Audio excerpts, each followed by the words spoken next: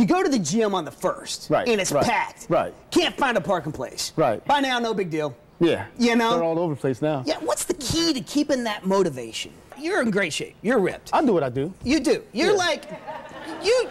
To me, you're like the black Ryan Gosling.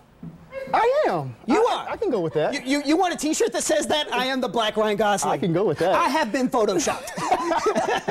Let me ask you this: What is the secret to your? I mean, what have you found that really works that is different than say the the boilerplate personal trainer out there? Fifty Shades of Grey was such a big hit.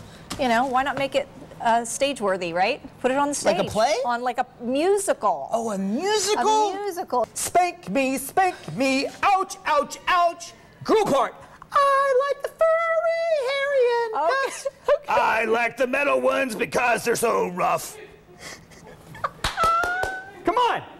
Huh? Oh my Hey, if we had an audience right now, I would have a standing ovation. Love it. You see the kid in the car commercial that was dressed up like Darth Vader? Well, he is unmasked and he got to meet the real Darth Vader. I cannot wait to show you the video. Take a wild guess where we are. Go ahead, go ahead. No. No. Close. Warmer. War ah, one of you got it. For the rest of you, come here. Let me show you something.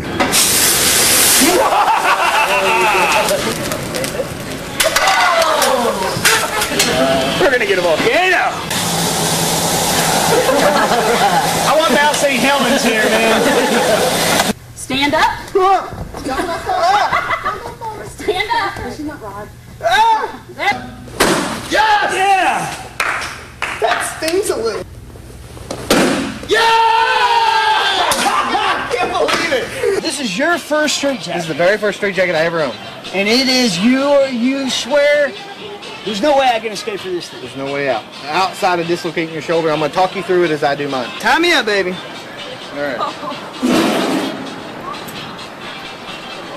Georgie Porgy is a guy who is very bashful and so shy. The ladies prize him. They idolize him. You can find him most anywhere in a great big cozy Morris chair. I've been looking at the ceiling while some girlie is appealing. Oh, gee, Georgie. Oh my God! Oh my God! Ah! Ah! Ah! No prison can keep me! a pleasure to work with, Is this even my chair? Always prepared, Somebody give me my chair! professional, Who writes this? e- even tempered, We'll do it live! a genuinely, genuinely good, good person. We'll do it live! Mike McNeil, the nicest guy in news. Seriously?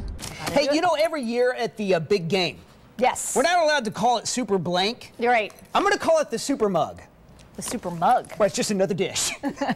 It's not a bowl, it's Okay, a dish. okay. Uh, at the Super Mug, uh, every year the Doritos says, hey, make your own commercial, and then the winner gets their spot during, the- this, during the the, the. Super Mug. And so they've put out their five finalists, and I picked out the one that I think's the funniest. And I'm Mike Wilson, hope you're doing well and managing to stay healthy despite the fact that it seems like everyone we talk to either has the flu or knows somebody that's had the flu. Or had the flu. Uh, Yes. has had it, Yes. especially the week of Christmas. It seems like it I talked to several hard. people. They said the week of Christmas, the whole entire time that they were on break, they were There sick. was what AJ uh, AJ Richards that was on the show the other day just got over it herself. She, Yes. she went to New York City and was the whole time she well, was sick Scott was just telling us, went through his family.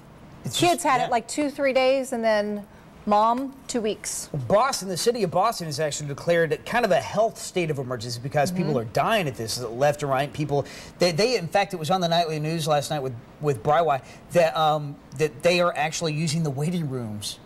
As People are sleeping in the waiting yes. rooms because they, they're out of rooms. They're they don't know room. what to do with people, and of course, you need to quarantine them to some extent. You end up with a tent. Right. But here's the thing: Do you have a cold? Or do you have the flu? Yes, Do uh, you know the difference? Uh, 60 Minutes and Vanity Fair did a survey about what drives you crazy. Right. Like as married people.